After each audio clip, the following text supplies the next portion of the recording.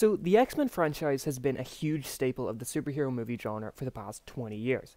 Despite their many missteps, they are the reason that we are in this amazing era for comic book movies. The first X Men trilogy paved the way for the MCU. If X Men never happened, we probably never would have gotten an MCU, or at least we wouldn't have gotten it as soon as we did. They gave Marvel Studios and Kevin Feige a list of do's and don'ts when it came to the Avengers, and a lot of times the X Men movies died so that the MCU could live the X Men movies would have their missteps, and then Kevin Feige and Marvel Studios would know exactly how to avoid those missteps when they were making the Avengers. And the X Men movies did a great job at showing this ens- ensemble cast of comic book characters 12 years before the Avengers even got there. So, with all that said, there's a bit of sadness that comes with this movie. The franchise is over now, and I think there's so many people who couldn't wait for these movies to end. But Think of Patrick Stewart and Hugh Jackman and Michael Fassbender, three of the absolute best castings of any comic book character ever, and we will never see them as these characters again. Yes, new people will take on the roles, and I'm sure they'll do a great job, but those three were just, they were the characters. And we'll never really see a Logan style movie in the MCU, and yeah, we're gaining stuff, but we're just gonna lose a hell of a lot of stuff too. Before I get into actually talking about the movie, I just want to uh, preface this by saying that I generally have had different opinions than most on the X Men movies. I think 1 and 2 haven't held up very well and just aren't that interesting, while I think Wolverine Origins is given too much flack. I genuinely love Apocalypse and I think The Wolverine is a very boring movie, so keep that in mind. I'm also going to try and stay relatively spoiler free, but to be honest, this review isn't out particularly early, so while I'm not going to go out of my way to spoil things, there might be some uh, little things that could be considered that.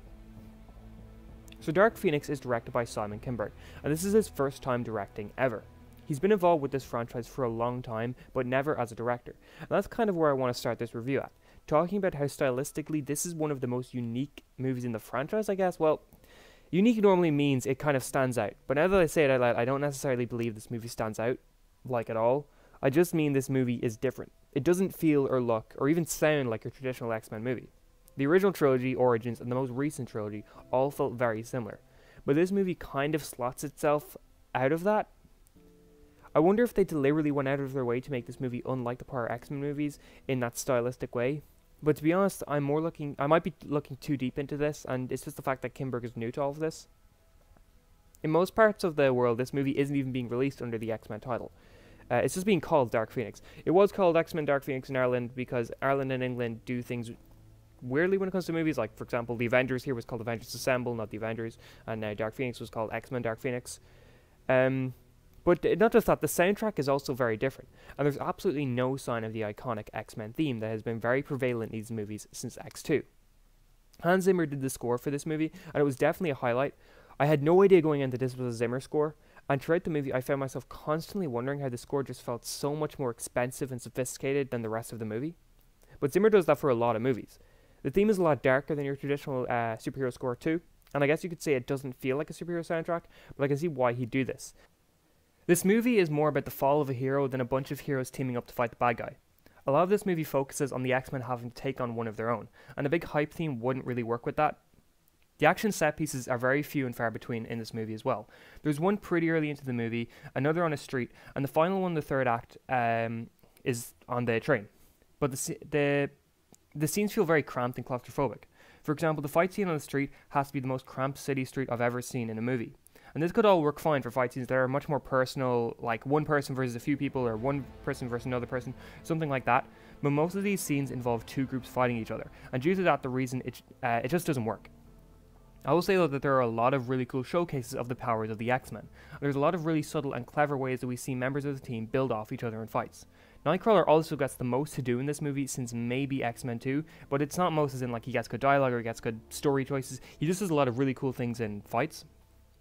And it was really nice seeing these little moments of characters using their powers to one up each other. Outside of the fight sequences, however, I dare say that most of the characters are written like absolute trash, uh, Xavier, Erik, and Jean herself are the only characters who get any lines worth a damn. Quicksilver has maybe four lines and then is sidelined for the rest of the movie in the most underwhelming fashion possible. Out of the fights, I can't remember Kurt or Nightcrawler uh, saying anything. Storm puts some ice cubes in Cyclops' drinks once, and all Beast does is jump off things like a, like a dog. It really feels like they had a list of characters they had to include in this movie and they couldn't figure out how to use any besides the tree I mentioned earlier. Sophie Turner did her absolute best uh, with what she was given, and I really hope she goes on to do a lot better stuff than this because she is she was great in Game of Thrones. I think Michael Fassbender's Magneto was my favorite part of the overall movie because he just elevated every scene for me. I also think that for some reason his writing was pretty great while every other character suffered in that department. Like everything Magneto said was really good, but then everything one of the other characters would say was just terrible. You've probably heard that the third act of this movie had to be reshot due to being uh, the original being seemingly too similar to a different Marvel movie that released around the same time. And after seeing it, I can only guess that this movie's third act was basically identical to Captain Marvel. Halfway through this movie, you would think the necessary progression will be for there to be some sort of space battle with a certain hero who can fly in space. But none of that happens, and instead we get a completely out of nowhere fight on a train that makes no fucking sense. This is one of these movies that unfortunately really suffers from how jarring its reshoots are. I would very much like to see the release of the original version of this movie at some point because I think it definitely would have improved the movie quite a bit. A couple minor things I want to touch on is that this movie basically ticks every box on movie cliche or uh, cliche sorry, lines or scenes. Every second scene is ridiculously over the top, or someone says something so cheesy and tropey that it could only be a joke, but then everybody keeps moving on seriously anyway. This movie also only has one F bomb, and it's so unbelievably out of left field and unnecessary, and from the complete weirdest choice of a character that I could only laugh at it. Overall, this movie isn't terrible. There are quite a few things that work pretty well, but it's just a very bland, uninteresting movie. It's forgettable, and in a lot of ways, being forgettable is worse than being terrible. At least if a movie is terrible, you'll remember it as such. It could be fun bad. But this movie just. It's something that nothing stands out. It really sucks that the franchise ended on such an underwhelming and disappointing way, but I guess the only people we can blame for this is Fox, so this movie is middle of the road for me on a 5 out of 10. But thank you very much for watching, and if you enjoyed this video, please consider liking and subscribing. Thank you, and have an awesome day.